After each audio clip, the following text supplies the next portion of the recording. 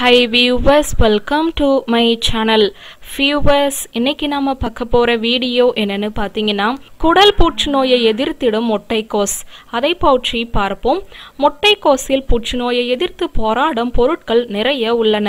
எனவே இதனை சாப்பிட்டால் புற்றுநோயை ஏற்படுத்தும் செல்கள் வளர்வதை முற்றிலும் தடுக்கும். மேலும் ஆய்வு ஒன்றிலும் முட்டைக்கோஸ் சாப்பிட்டால் புற்றுநோய் வளர்வதை தடுக்கலாம் என்று கண்டறியப்பட்டுள்ளது. முட்டைக்கோஸில் கலோரிகள் அதிகமாக இருப்பதால் இதை தினமும் ஜூஸ் செய்து குடித்து வந்தால் உடலில் உள்ள கெட்ட கழிவுகள் நீக்கப்பட்டு உடலின் எடை குறைய உதவுகிறது. Vitamin B five vitamin B six vitamin B one போன்ற அத்தியாவசிய விட்டமின்கள் உடம்பின் உணர்வுகளுக்கும் இதர உடல் செயல்பாட்டிற்கும் ஒரு துணை புரிகின்றது. மேலும் சருமத்தை பொலிவோடு வைத்துக் கொள்ள துணை செய்கிறது.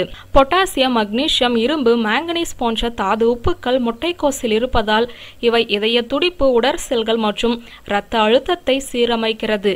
மேலும் சிவப்பு இரத்த செல்கள் உருவாக்கத்தில் பங்கெடுக்கிறது.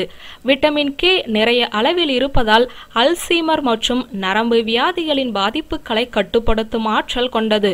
முட்டைக்கோசில் உள்ள அதிகமான நார்ச்சத்து செரிமான மண்டலத்தை சீராக இயக்கி மலச்சிக்கல் பிரச்சனையை குணமாக்கும். முட்டைக்கோசில் தயோசைனேட் காஃபினால் லூட்டின் லெசாந்தின் சல்ஃபராஃபின் இசோத்தையா சைனைட் போன்ற ரசாயன மூலக்கூறுகள் இருப்பதால் இவை மார்பகம் தொண்டை குடல் புற்றுநோய்களுக்கு எதிராக செயல்படும் தன்மையுடையது.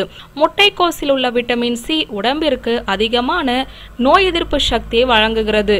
மேலும் தீங்கு விளைவிக்கும் ஃப்ரீ ரேடிக்கல்களை சுத்தப்படுத்தும் தன்மை கொண்டது. வியூவர்ஸ் இந்த வீடியோ உங்களுக்கு பிடிச்சிருந்தா லைக் பண்ணுங்க கமெண்ட் பண்ணுங்க ஷேர் பண்ணுங்க. தேங்க்யூ